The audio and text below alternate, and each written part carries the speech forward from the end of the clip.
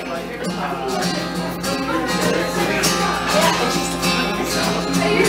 a pleasant wooded valley a huntsman tall and able.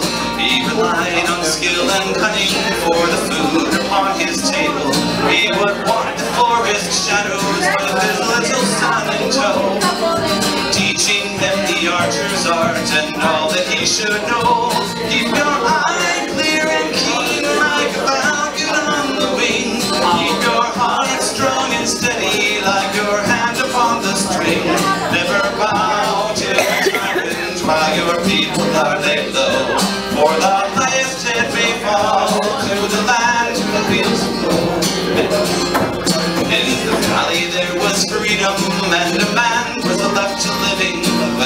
As gave way to hear the ruling men less forgiving.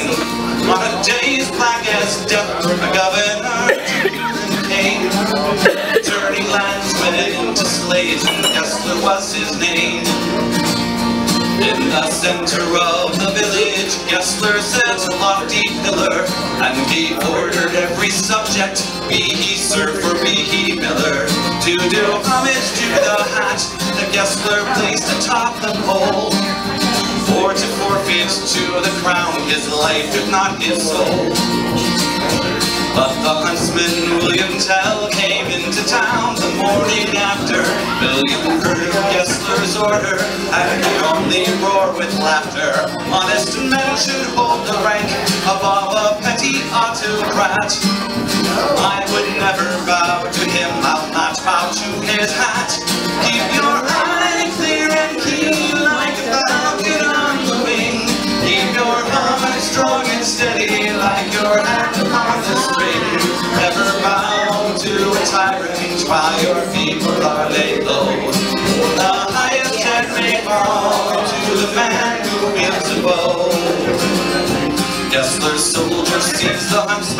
His little son for treason. But the people of the village cry for mercy and for reason. Gessler stays the execution, but a cruel test contrived. Prove to me your skill, and you may ransom back your lives. Uh, I have heard it said you have no peer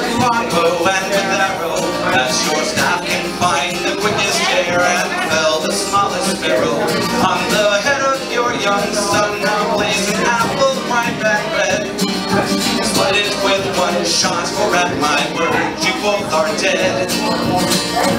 William Tell went to his son and said, I swear I will not hurt you. Courage will not bow to fear, nor shall this evil conquer virtue. On the turn your